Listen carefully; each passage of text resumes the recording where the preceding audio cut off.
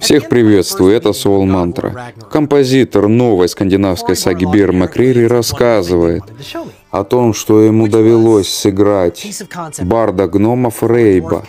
С него и списали образ. Приятного просмотра.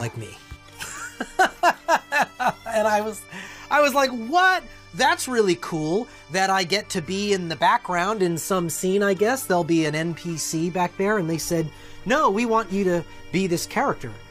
And I thought, oh, that's cool. You want me to, like, do a mocap on a hurdy-gurdy, I guess? And they go, no, no, you'll have lines. We have to talk to you. Hello? Watch yourselves.